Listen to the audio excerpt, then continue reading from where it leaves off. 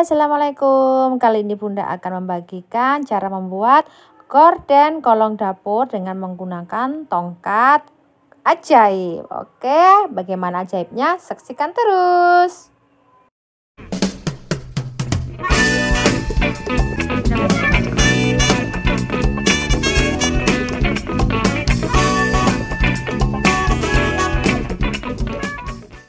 Untuk yang di bawah uh, cuci piring.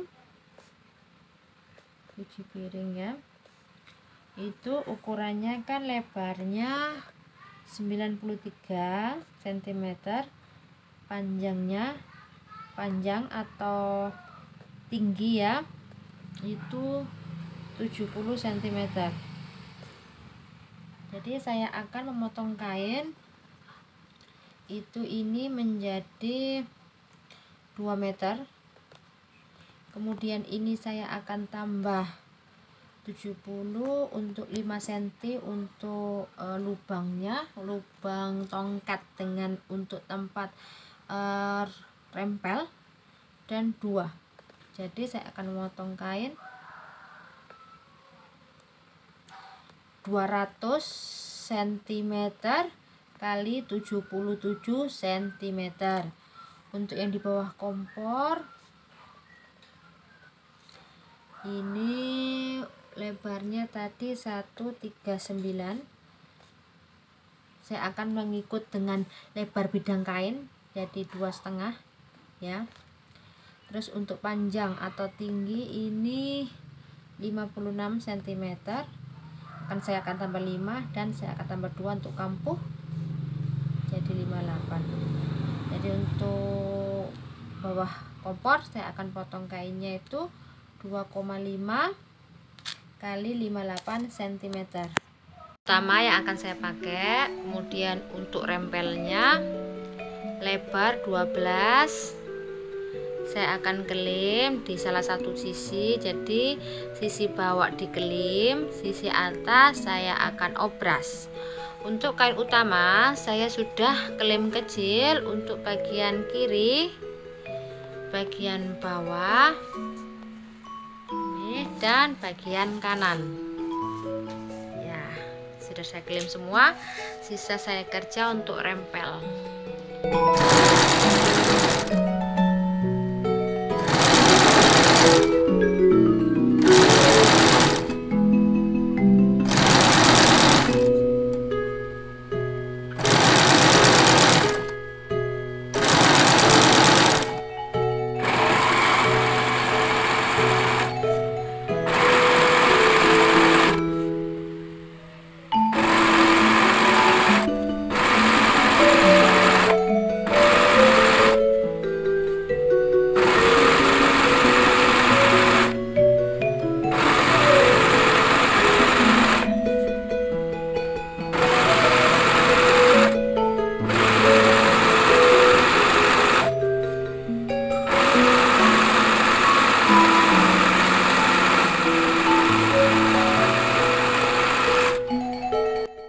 sudah beres kemudian kita beralih ke kain utama.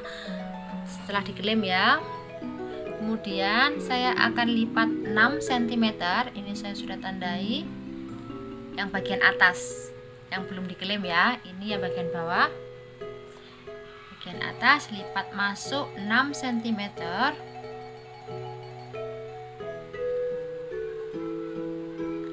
kemudian sematkan pentul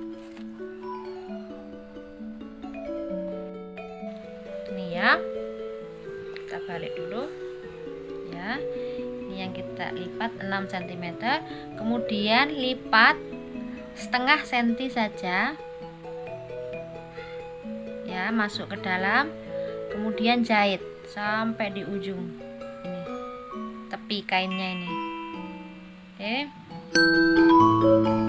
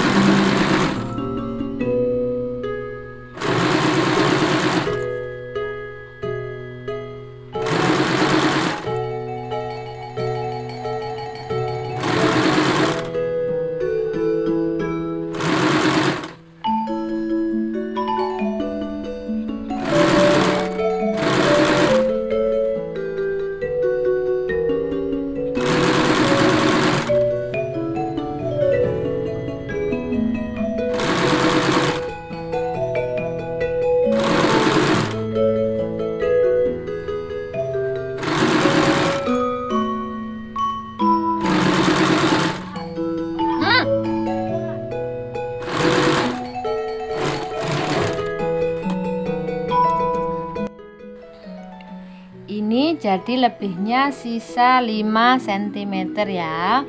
Kemudian saya akan membagi dua. Ini kan ada satu lubang ya.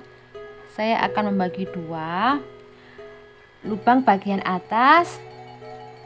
Saya akan kasih 2 cm untuk lubang yang tengah 3 cm jadi saya akan bagi ya. Ini yang atas 2 cm saya akan jahit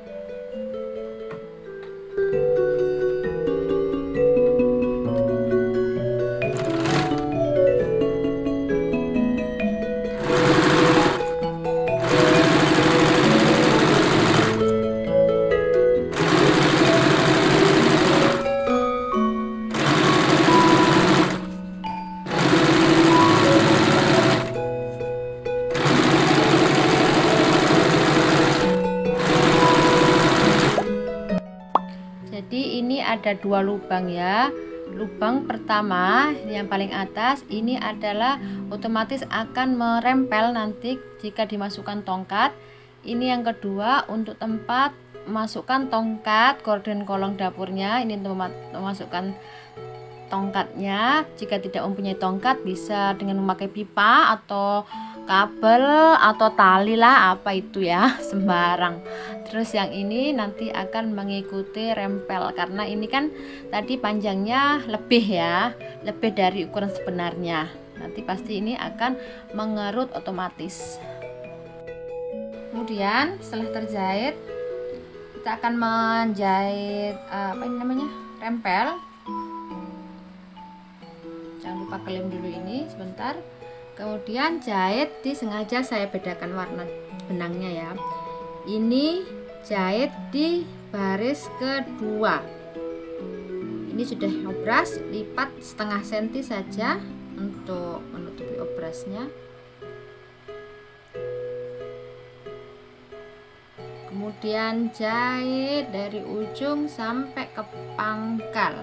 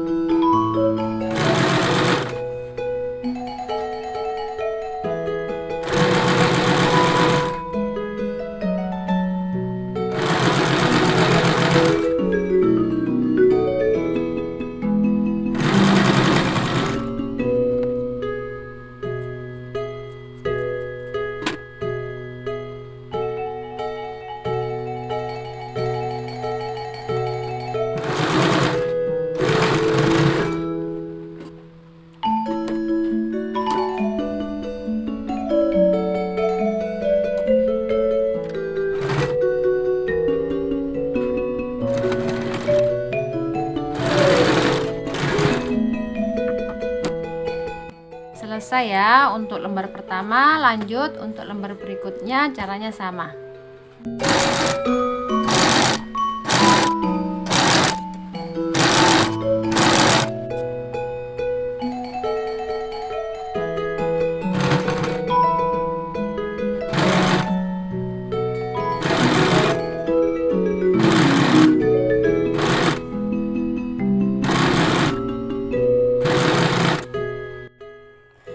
yang dibilang tongkat ajaib gorden kolong dapur. Jadi tidak perlu dibor atau dipalu-palu untuk menancapkan paku tidak perlu ya.